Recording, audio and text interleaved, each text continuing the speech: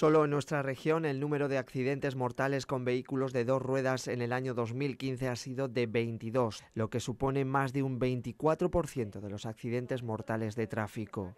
Por lo tanto, estamos hablando de, cifras que, como decía anteriormente, no son nada desdeñables y que tenemos que concienciar a nuestros ciudadanos de que hay que extremar las medidas de precaución. La DGT lanza una campaña pionera en nuestra región. Será vigilancia y control de motocicletas y bicicletas. Se desarrollará desde hoy hasta el próximo domingo ya que ciclomotor y motocicleta son vehículos que tienen aspectos coincidentes tanto en la problemática como en las medidas que se pueden adoptar dentro de lo que es la seguridad vial. Los adelantamientos antirreglamentarios, el no uso del casco, los excesos de velocidad y el consumo de alcohol y drogas constituyen los principales factores de riesgo, así como la mayor parte de las infracciones cometidas. Llevando el casco reduce, no llevándolo incrementa.